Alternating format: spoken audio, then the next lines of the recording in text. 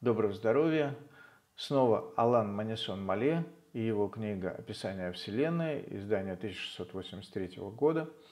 А, что писали французы об армянах в 17 веке? Почему меня интересует именно 17 век? Потому что, напомню, до 17 века об армянах, как о народе, о каком-то людском анклаве, который имеет свои границы культурные, языковые и так дальше, не существует. Таких описа... Такие описания появляются только в 17 веке. А, одна из книг, в которых такое мы нашли, это а, «Описание Вселенной» Алана Манисона Мале, известный картограф, француз. Сегодня фрагмент, в котором он описывает Ереван. Ереван расположен на скале у подножия горы Арарат. Это город средних размеров. Предположительно, он был построен из развалин города, который где-то находился где-то неподалеку и тоже назывался Ереван – и который был разрушен во время последних войн между турками и персами. В Ереване есть несколько персидских мечетей и монастырь кармелитов. Вот это меня удивило, поскольку все путешественники обычно описывают э, Эчмиадзин. Во-первых, Ереван, это и вот неподалеку от него церковь восточного обряда, так называлась армянская церковь в те времена – вот, и там э, католикос там, и так дальше. А тут вдруг ни слова об Ичмиадзине, ни слова об а, армянском, а, армянской религии, а кармелиты вдруг. Ну хорошо, э, идем дальше. А, город защищен только каменной стеной. Его обитатели, большая часть которых это бедные армяне – Путешественник, который побывал здесь несколько лет назад, утверждает, что этот город был разрушен, однако же, землетрясением. То есть то войнами был разрушен, потом землетрясением, но неважно.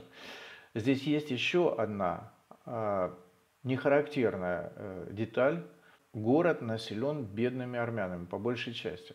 Во всех других источниках того времени э, об армянах говорят так, что они населяют окрестности Еревани только живут в окрестностях, в общем, в небольшом количестве, и э, занимаются там земледелием. На горе Арарат, здесь интересное описание горы Арарат, множество скитов, это монашеские поселения, занятых христианскими монахами. Армяне называют эту гору Мессия Сусар. Вот еще один э, неожиданный момент. Мессия Сусар транскрипция такая. Вообще это может быть мессисузар или мессефусар. Но неважно, в любом случае на массис она, так сказать, чуть-чуть похожа, поэтому я думаю, что все-таки это мессисусар. Э, но тут неожиданно Алан Манисун Мали говорит, что это слово переводится как «гора ковчега». Я попробовал найти, то есть в армянском это не «гора ковчега», и в персидском, и в турецком, в общем, какая-то гора ковчега. Может быть, имеется в виду и другая гора. Кстати, вот э, показывал фотографию, э, простите, рисунок, конечно же, э, этой горы, ну, как-то, не знаю, по мне так не похоже. Ни на Еревань, которую рисуют другие авторы, ни на гору Арарат. Но на, вер, на верхушечке вы видите ковчег – нарисован, так что сомнений нет, имеется в виду та самая гора. Персы называют эту гору, читаем дальше, Агри. Вот, кстати, Агри, а в отличие от Массиса, вместе с Усарой, мы увидим еще дальше, и другие варианты бывают, Агри всегда Агри. Вот во всех источниках европейских так не меняется. Высота Агри или Мессис Усара превосходит все горы Кавказа, Голландский путешественник, который дает нам описание этой горы, говорит, что в 1670 году он побывал э, в, это, в Ереване, и по просьбе кармелитов этого города, которые приняли его за хирурга, он поднялся на гору, чтобы вылечить одного монаха, у которого была грыжа. Он говорит, что совершал подъем в течение семи дней, проходя каждый день по 5 лье, то есть прошел 35 лье, каждые 5 лье он встречал домик отшельника, проводил там ночь, на утро каждый отшельник давал ему крестьянина в проводники. Ну, видимо, у отшельников были свои собственные крестьяне тогда, не знаю.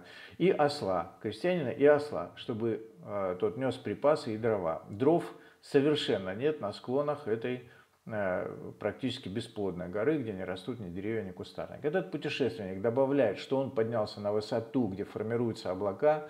Первый слой облаков был темным и густым, следующий слой был чрезвычайно холодным и полным снега, а когда он проходил сквозь третье облако, он чуть было не умер от холода и пишет, что если бы это продолжалось еще хотя бы четверть часа, то он непременно был бы мертв.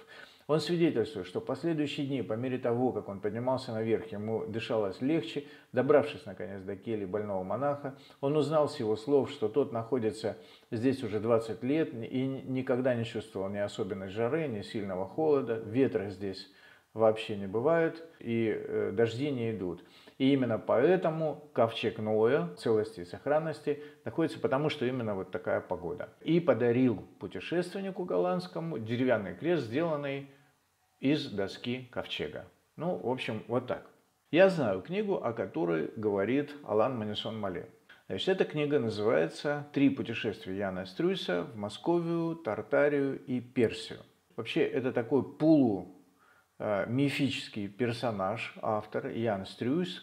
Э, значит, он в 1647 году, по-моему, бежал от строгого отца, нанялся куда-то на корабль, в различных странах он бывал на Суматре, на Тайване, в Японии, потом вернулся в Голландию, потом э, в составе Венецианского флота воевал с турками, попал в плен, бежал, э, вернулся. В 1668 году, по-моему, женился и все равно поехал еще в третье путешествие, уже в Московию, там э, занимался строительством корабля, известного корабля «Орел» тогда строился этот корабль, и из Москвы почему-то по какой-то причине там прекратилось строительство, он бежал, опять бежал и через Дагестан пытался значит, попасть в Турцию, Константинополь и вернуться в Голландию. Не знаю, что за путь он избрал, может еще попутешествовать хотел. Но в Дагестане с ним а, а, случилась любопытная вещь. Я вам расскажу о ней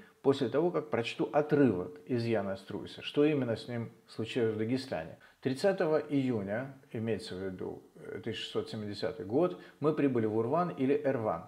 Этот город расположен у подножия горы Арарат, граничит с Мидией и удален от Каспийского моря на несколько лье. Это небольшой город, но он все, все же укреплен. Его стены, стены сделаны из прочного твердого камня. Видны несколько персидских мечетей и монастырь кармелитов. Да, угадывается. Самая большая торговля здесь – это работорговля. Тартары из Дагестана привозят сюда рабов из разных мест. Они привозят их в таком количестве, что один молодой, сильный и стройный мужчина стоит 10 икю, а то и меньше. Жители Урвана – это по большей части бедные армяне – а на горе, которая слабо заселена, есть только люди, которые проповедуют романскую веру. Ну вот, вы узнаете информацию, которая перекочевала в книгу Алана Манесона Мале. Эта гора расположена между Мидией и Арменией. Она граничит и с одной, и с другой, и является продолжением Дагестанских гор. Армяне называют ее Мессина, Мессиной, а там Мессисусар, туда попал какой-то в измененном виде, в искаженном. А персы Агри, вот с персами тут все нормально. Э, она намного, Мессина, намного выше горы Кавказ или Таурус, а также любой горы в Персии, Мидии и Армении. Камни ее коричневого цвета. Тут, в общем, э, про камни. И дальше. Два кармелита подошли ко мне спросить, не являюсь ли я хирургом. В общем, договариваются они, и Ян Струйс отправился лечить кармелита. Там он лечил этого кармелита до 22 июля, потом спускался. Спускался, пишет, больше, дольше, чем поднимался, поскольку спуск гораздо, гораздо сложнее. Все время скользко, там ослы падают, лошади а, падают, и э, спускаться очень сложно. А так что где-то он прибыл, возможно, в начале августа. И э, вот здесь пришло время сказать кем был Ян Стрюсь в Ирване и что с ним случилось в Дагестане. В Дагестане Ян Стрюсь попал в плен и стал рабом, его сделали рабом. И как раз в Ирван привезли его продавать как раба. Но поскольку его не купили, не захотели купить, очень много было рабов в Ирване, как пишет Ян Струйс, Э, и стоили они очень дешево, хозяин его не соглашался на такую низкую цену, то он сговорился с кармелитами, которые предложили хорошую цену не за раба, а за то, что этот раб, в котором они признали какого-то образованного человека, попробует излечить их брата. И вот таким образом, значит, он отправился на гору. Когда он прибыл, вернулся в Ирвань в начале августа, он был закован в цепи своим хозяином, потому что хозяин побоялся, что значит, э, он сбежит. И просидел закованным в цепях несколько дней до 11 августа, когда его хозяин продал значит, персидскому рабовладельцу, и 12 Ян Стрюс вместе с новым хозяином уехал из Ирвани в Дербент. Теперь давайте посчитаем, сколько дней у Яна Стрюса было, чтобы ознакомиться с городом, с его жителями. Сколько? То есть это были те примерно 10 дней, которые он просидел на цепи в подвале в доме у своего хозяина. Вот кто дал информацию о Эрване, почему там не упоминается ни Эчмиадзин, почему все люди, которые живут, которых он, э, не знаю, как он там видел, мельком, может быть, он считает, э, счел, что это армяне. И вот эта вот информация от этого раба, она попала каким-то образом в серьезную книгу Алана Манесона Мале. О чем я хочу сказать здесь еще раз. Даже в 17 веке информация кочевала из книги в книгу с большими искажениями. Мессина, Мессисусар, Массис э, и так дальше. Все это вы видите, я вам демонстрирую это. Нельзя вообще всему безоговорочно верить, что написано в 17 веке. Почему вы думаете, что написанное раньше все сплошь достоверно? Почему вы думаете, что авторы, которых вы относите к далеким векам, к началу нашей эры или к концу прошлой эры, почему вы думаете, что это все соответствует действительности? Этому ведь нет доказательств. Всего доброго всем, дай Бог, здоровья. Армяне хотят знать правду о своем прошлом.